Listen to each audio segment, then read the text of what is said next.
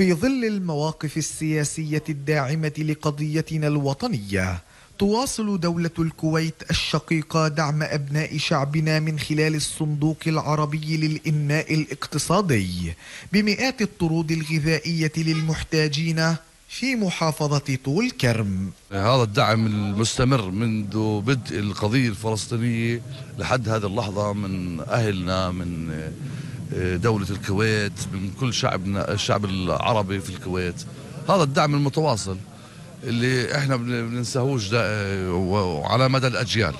أكثر من ألف طرد غذائي توزعت على بلديات ومجالس المحافظة لتوزيعها على الفئات الأكثر عوزا خاصة في هذا الشهر الكريم. بصراحة إحنا بلدية كفر اللبد تم تشكيل لجنة اجتماعية لتحديد الأسر المحتاجة.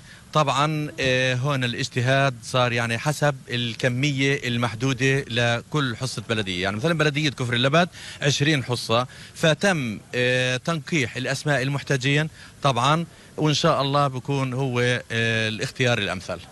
ويشكل هذا الدعم جزءا من منظومة الدعم العربي لقضيتنا الوطنية ومعاناة أبناء شعبنا نتيجة الاحتلال وإفرازاته.